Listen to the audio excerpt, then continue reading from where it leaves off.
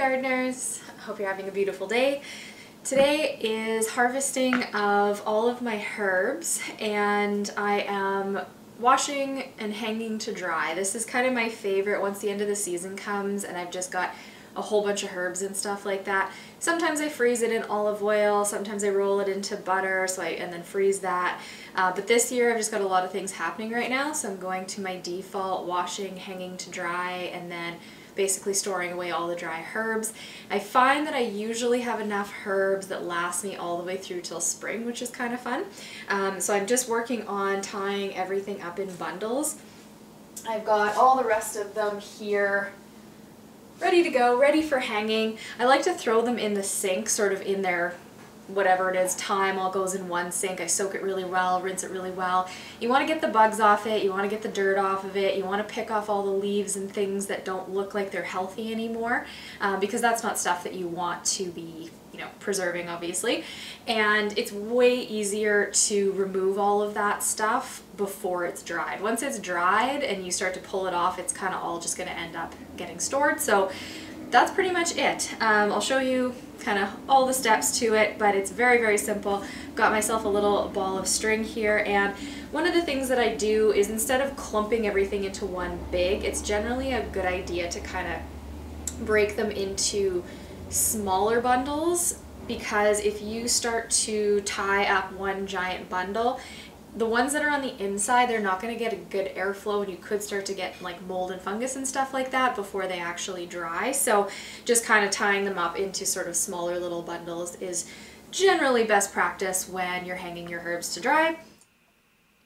So when you're harvesting, I like to chop close to the bottom but not take all of it and leave maybe a few inches just so the plant can keep growing for the remainder of the season and potentially also if it's perennial in your zone you can ensure success.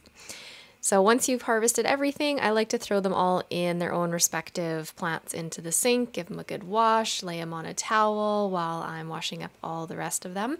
Get your string ready to go. And then it's pretty simple. I'll start with one bundle, just tie a little knot on the bottom, make a little loop, and then from there I just keep grabbing sort of small bundles and making little loops to add more onto. Um, depending on where you're hanging them, you might have to stop after a while if you get too long of a string going, but I have a decent amount of space, so that doesn't happen too, too often and just take your time.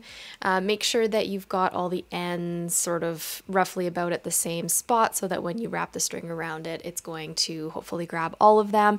You do want to tie also pretty decently tight when you're knotting it because what's going to happen is as they dry, they tend to shrink. And if you haven't knotted it tight enough, sometimes they can fall out of their little loops. Hey gardeners, quick pause. There are exciting things in the works. We're at the end of our gardening season here and I'm curious, what have you discovered about your garden? Are you feeling like perhaps your garden could have been more successful than it really was and sort of wondering what you might be able to do in order to have a best season next year? Well, I'm here to ask you if you've ever considered about learning about gardening over the winter time. Now, honestly, learning gardening over the winter when we're not gardening is probably the best time to do it.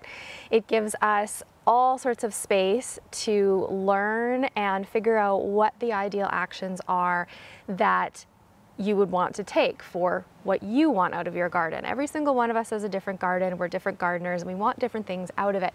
So it can give you some space to sort of hum and haw and figure out what your next season could potentially look like. Learning over the winter is also a really good idea because it takes a lot of the overwhelm out of situations that can happen where you're in the middle of a drought and you can't figure out how to get enough water into your garden to keep the plants happy or you want to go away on holidays and you don't want your plants to die. You're concerned about weeds or the weeds are taking over your garden. How much fertilizing do you need to do? When? How? Pruning.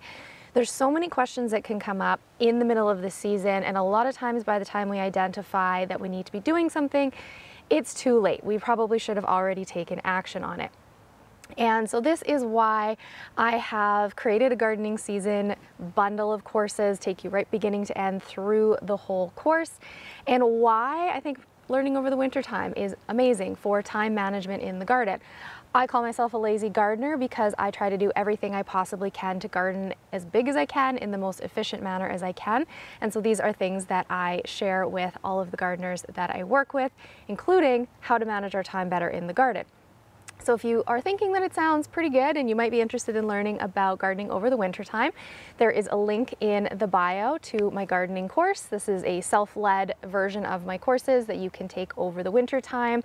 So if you want to learn how to have more harvests, if you are curious how to expand your garden for next season, whether it's figuring out what those best spaces are to put the garden, the materials to use, what varieties actually you should be growing for your zone and your space and your time and even your preference for flavors, this is exactly for you.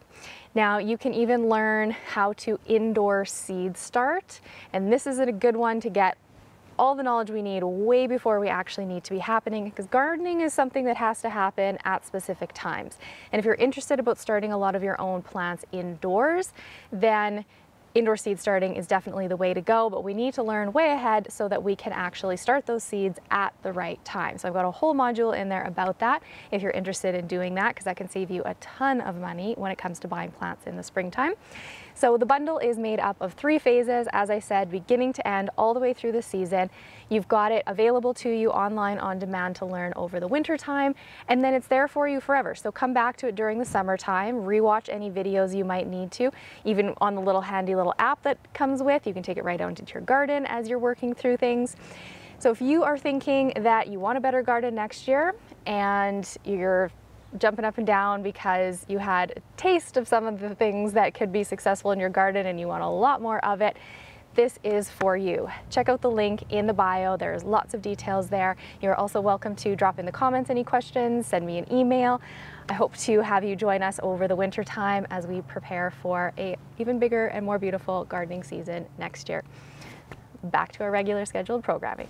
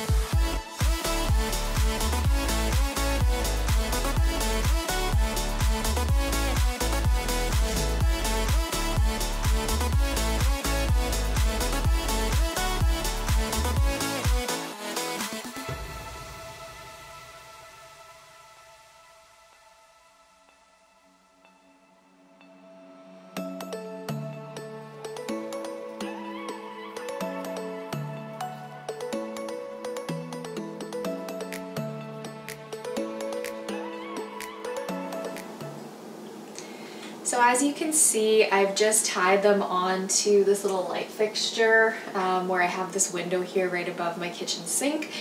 This is my favorite place in my house to hang all my herbs to dry just because it's got that really nice airflow coming through the window.